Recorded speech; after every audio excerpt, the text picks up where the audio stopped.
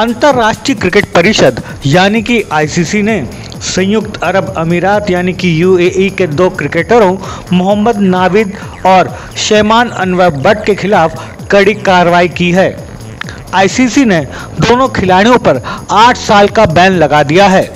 दोनों खिलाड़ियों को साल 2019 टी ट्वेंटी विश्व कप क्वालिफायर मैच के दौरान फिक्सिंग के मामले में लिप्त पाया गया था।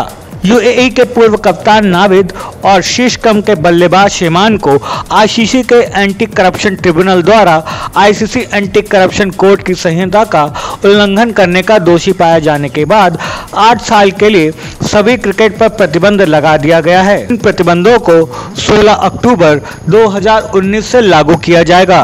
जब दोनों खिलाड़ियों को संयुक्त अरब अमीरात में खेले गए आईसीसी पुरुष टी ट्वेंटी विश्व कप क्वालिफायर 2019 के दौरान मैचों में भ्रष्टाचार में लिप्त पाया गया था।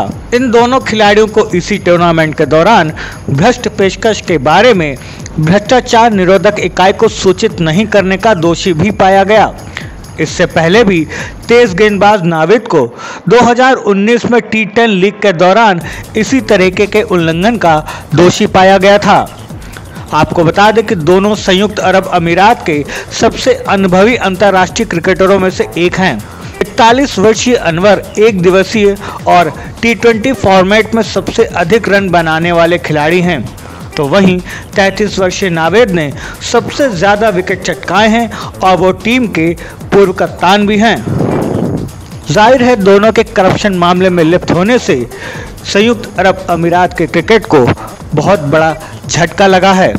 ऐसे में उम्मीद है कि इन दोनों क्रिकेटरों को मिली सजा से बाकी क्रिकेटर्स और बोर्ड सबक लेंगे और आगे ऐसी गलती करने से बचेंगे।